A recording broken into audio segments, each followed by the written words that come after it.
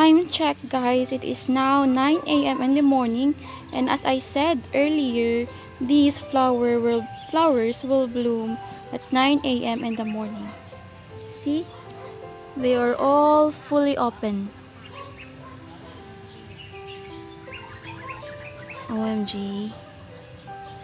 I always like staring at these beautiful flowers of my Vietnam rose guys.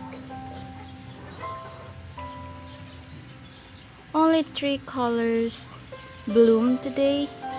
The white, the peach, and the fuchsia pink. Yes.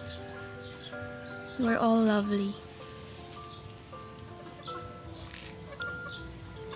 And as you can see, there's empty space in this side and on this side as well.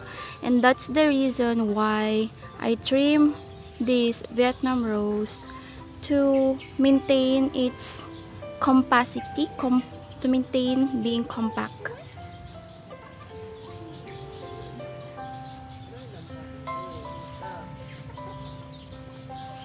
I planted these um, trim cuttings or trim stems on this area because this is an empty space and maybe sooner or later if some of the um, fresh cuts on this um, Vietnam rose will soon develop um, new branches.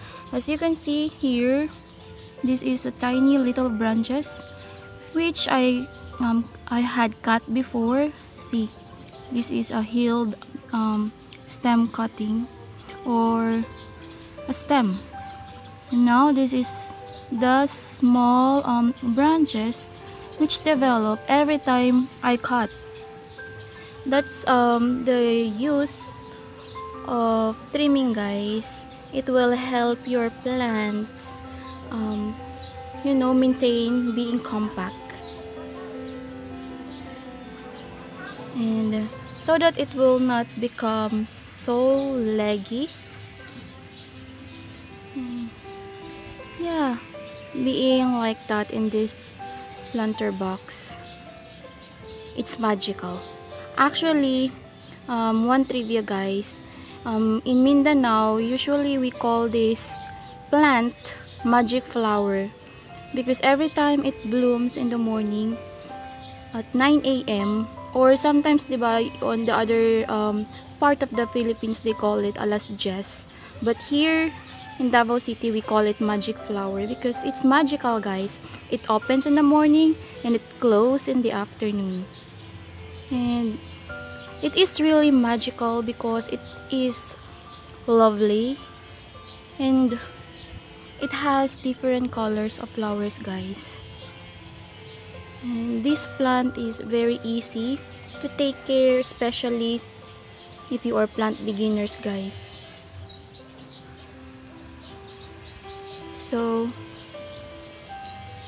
yes I adore this plant too how about you guys do you adore this plant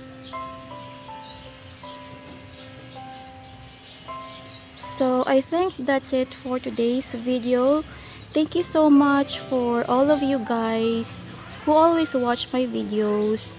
And to those who also join my live stream, thank you so much guys. You know who you are. And I'm so grateful to have you in my little crib. So that's it guys. And see you on my next video. Bye-bye.